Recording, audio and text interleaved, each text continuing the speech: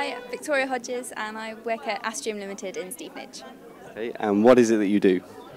I am an Astrium Orbit Control Systems engineer for the Gaia spacecraft project. And what is the Gaia Space Project? Gaia is a European Space Agency mission designed to map the galaxy essentially. It's going to measure the positions and radial velocities of all the stars in the galaxy, which is about a billion stars. And it's hopefully going to be launched in 2012. Okay, and what's your sort of precise involvement in the team or project? Precisely. Um, I look after one of the so-called operational modes of the spacecraft. So there's these five states that the spacecraft can be in during its six and a half year lifetime. And one of those is a mode that I look after called inertial guidance mode. And basically this is like a transition mode. So we enter this mode first of all um, at the very early part of the mission. So once you've gone off the top of a, a rocket, off the top of the launcher, you're in um, a preliminary orbit and the what's called the sun shield on our spacecraft, because it basically looks like a top hat, has been deployed because it's folded up when it's inside the rocket. Um, and first of all, it, it goes into a, kind of a safe mode and deploys that sun shield, and then after a time, it will enter inertial guidance mode, where the role there is basically to stabilise everything and start to set it up ready for an orbital manoeuvre at that point from where it's been put in, into orbit, um, kind of a low Earth, uh, medium Earth orbit, and push it out to the L2 point in between the Sun and the Earth where it can actually carry out the scientific observations. Sounds exciting, if a little complicated. What got you into science in the first place? Actually, it's quite strange um, because I always love science and especially kind of astronomy, but I didn't really envisage doing anything with it when I was sort of 14, 15. It was more the fact that um, I had a very inspirational physics teacher when I was in my GCSE years, and she turned around to me one day when I'd kind of been on work experience at a law firm and decided that was really dull and didn't want to do it anymore and said, don't, don't worry, physics is really exciting and you're really good at it and look at all these things you could possibly do. And actually the, the pamphlet she showed me turned out to be from the university that I then went to later on and it, all it said on the front was rocket scientists wanted. I thought, that sounds cool. so is that a message that you like to spread? Yeah, I think so. I mean, my motivation for being involved in the outreach side of things is really just to spark an interest because I can remember what my year 9 science classes were like at school and I can remember them being rather dull. Uh, I thought the extent of physics was plugging in a few light bulbs and wiring up circuit boards which I didn't like and wasn't particularly good at that side of things and um, a very disinterested teacher who didn't seem to like to be there as much as the students didn't like to be there. So I kind of, I know that was probably more negative than some other people's experience, but um, I really like to think, well, I want to try and inspire them to see what world of opportunities that physics could actually offer and that it's not just about plugging in light bulbs at school and okay you have to do those things now to get the fundamentals right.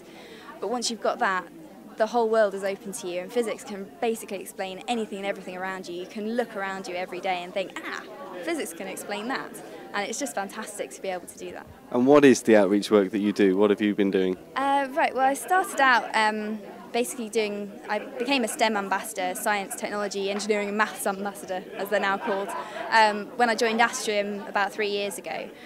And started off doing the events that were put on by the company and put on by our local SETPOINT organisation, so visiting schools, doing a few workshops. Um, and then gradually I got more and more into it and I was actually part of a graduate scheme at Astrium and managed to uh, basically persuade the PR and communications group that they really wanted to take me on for a couple of months when I had nothing else to be doing um, and let me do outreach stuff for and be paid for it full time and it was a fantastic two or three months. And I was basically given the, uh, the task of designing and implementing a new visit program to be held on site because we'd started having a few on site visit requests from schools and we weren't really geared up to actually delivering that kind of um, visit because essentially we didn't really have anything prepared. So they would come in and get the same kind of talk that we would give to business people or you know older um, groups who might want to be interested in, in coming to visit Astrium.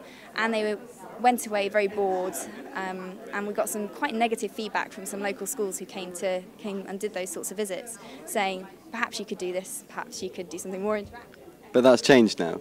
Yes it's all changed. Um, 18 months ago I basically started uh, putting this program in place and it's a half day programme with four basic activities, and it's the whole thing is designed to bring home the message that space matters to you as a child sitting there, um, what it can do for you in your daily life. So we have an activity based around um, kind of identifying space-based technology in your daily life that you might not have thought of.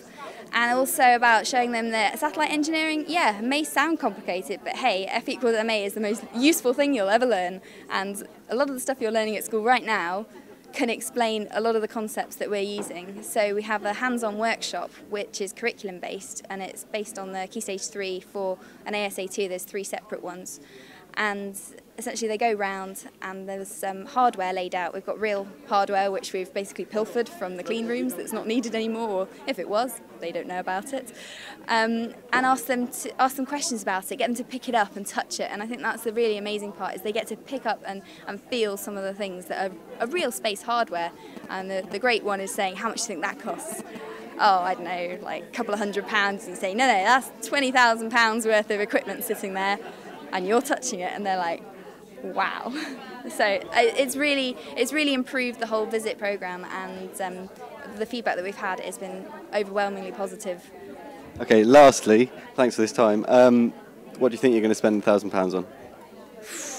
Crikey, I guess I could say paying off student debts, which I still have. Um, otherwise, I don't know maybe I'll let it sit in, uh, sit in my bank account and then treat me to something, a well-earned a treat sometime in the summer holidays, although I won't be taking holiday till after our big project review in September, so we'll, we shall see.